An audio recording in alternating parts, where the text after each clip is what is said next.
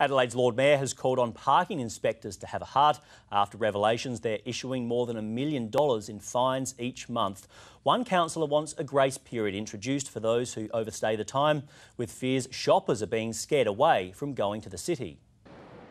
On the beat and raking in millions, Adelaide's parking inspectors are quick to pounce. Revenue raising, that's all. It's hard to get parking without getting a fine. It's ridiculous. I, yeah, I've paid probably this year about $500 worth of parking fines.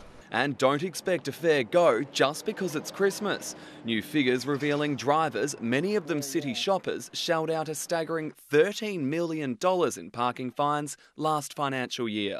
Adelaide Council slapping 243,000 477 motorists with tickets. Half a million dollars alone made from those who overstayed their time by less than 10 minutes. That sounds a bit excessive, doesn't it?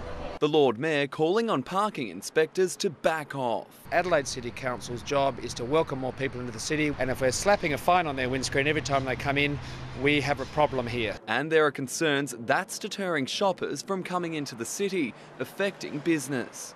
Nine News has been told council spends revenue from parking fines long before tickets have even been issued. Parking inspectors say they have no quotas, but clearly, if there's a budget line for $13 million, their bosses are going to be pushing them. Councillor Anne Moran will this week move to have a 15 minute grace period introduced for expired parks. But I think we can become a lot more humane and a lot more in sync with the public and businesses. Rhett Burney, Nine News.